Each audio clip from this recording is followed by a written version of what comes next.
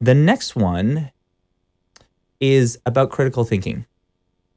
So, almost 40 years ago, President Ronald Reagan delivered a report known as The Nation at Risk that stated from 1963 to 1980, SAT scores had been declining in the United States. The report blamed teachers for the decline and called for a commission to assess the quality of teaching and learning at the primary, secondary, and post secondary levels. Uh, one of the authors, James J. Harvey, wrote the now famous quote Our educational foundations of our society are presently being eroded by a rising tide of mediocrity that threatens our very future as a nation and a people. If an unfriendly foreign power had attempted to impose on America the mediocre educational performance that exists today, we might as well have viewed it as an act of war. This is the actual quote an act of war. Very, very strong words. But here's the problem this words, these words sound so convincing. It feels like, wow, that's really bad. He's totally right. You know, things are worse. And it was factual that SAT scores had declined. It, like, however, the report itself, it was so profound. Like, it fundamentally changed education in the United States. But it was flawed to begin with. While it was true that SAT scores were declining during that time, much of the decline was just due to lower income students also taking up the SAT exams when they would never actually do it. So the Department of Energy brought in their best statisticians from Sandia Laboratory Systems. Um, they brought in their system scientists who looked at the average SAT scores among different income brackets. And they found that SAT scores had increased in every income bracket between the periods of 1963 and 1980. So this is the problem is the scores were actually increasing for every income bracket, but if you took them all together, then the, the actual score was lower overall. Um, I believe this is called the Simpsons paradox um, in the book, but Uh, without going into too much detail, it's our lack of critical thinking that caused this assumption that things were really bad. So I think that that's that's the way I see things is is really it's really concerning. So, numbers are often used to demonstrate that decisions are made based on facts. They're objective and they shouldn't be questioned.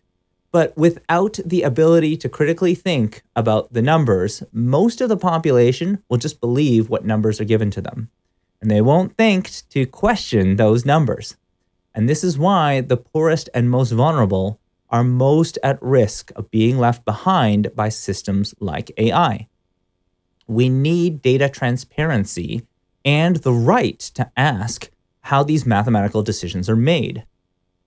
Uh, another example, let's go back to that example of, uh, with teachers.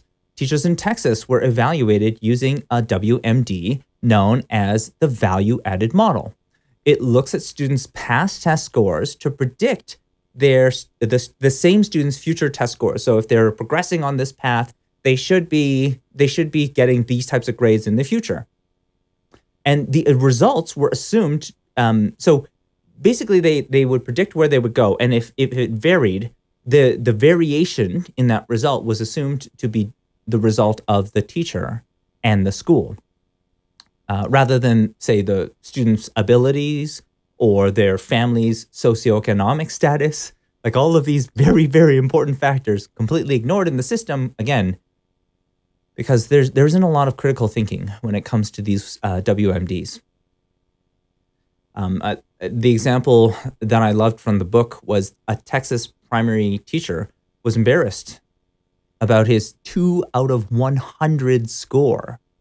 Uh, he was too embarrassed to share it with his colleagues until he he was in the like in the lunchroom and he, he overheard uh, others had received the same score. Now, for him, um, his tenure and, and his relationships that were built over time had saved him. Uh, but this WMD has real implications when decisions were made to fire the bottom 2% of all teachers each year. So, a good teacher in a poor neighborhood would become collateral damage uh, of this weapon of math math destruction. You know, the interesting things, uh, the story about this uh, teacher was that, ironically, the following year, the same teacher that got two out of 100 got 94 out of 100 score uh, simply by teaching a class of regular students. You see, what happened was um, he concluded that the poor score on the first year was due to his work with special educational need or SEN students. And uh, he also worked with gifted and talented education or GATE students.